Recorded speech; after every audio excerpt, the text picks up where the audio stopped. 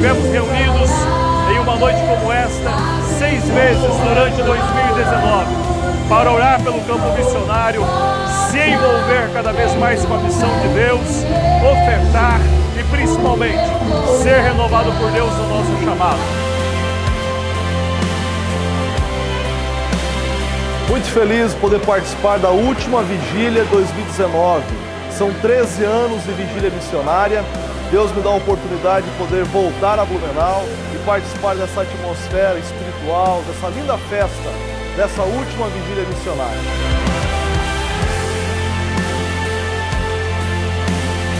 Estamos encerrando agora a última vigília missionária 2019.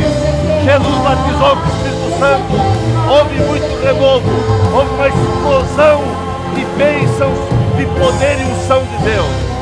Estamos felizes por tudo aquilo que Deus tem feito no meio da sua igreja. Um verdadeiro renovo. Nós realmente estamos encerrando as vigílias esse ano com muitas vitórias e bênçãos de Deus.